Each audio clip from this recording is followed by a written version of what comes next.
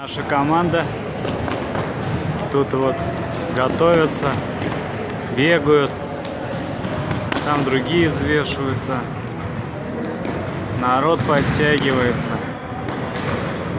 везде уже боксеры собрались, все гоняют вес, потому что весы здесь просто чудесные, почти на килограмм показывает другой вес